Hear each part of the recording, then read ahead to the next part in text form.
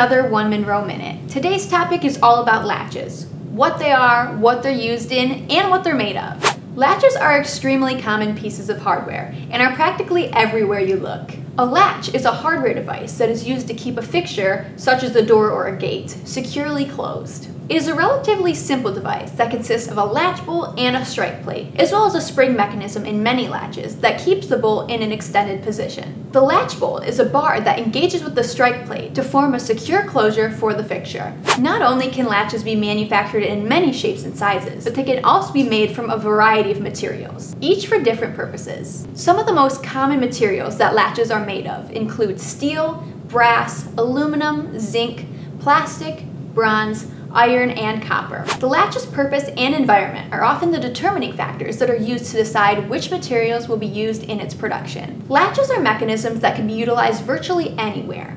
They're commonly used in the automotive, cabinetry, furniture, industrial, and transportation industries, as well as in many consumer products. These devices are found on doors, cabinets, gates, windows, toolboxes, and vehicles, just to name a few. Here at One Monroe, we carry a large variety of latches to fit each individual need. Be sure to get in contact with one of our sales engineers so we can help you find the right one for you. Thanks for watching this week's video. Be sure to like and subscribe for more videos in the future, and we'll see you next time with another One Monroe Minute.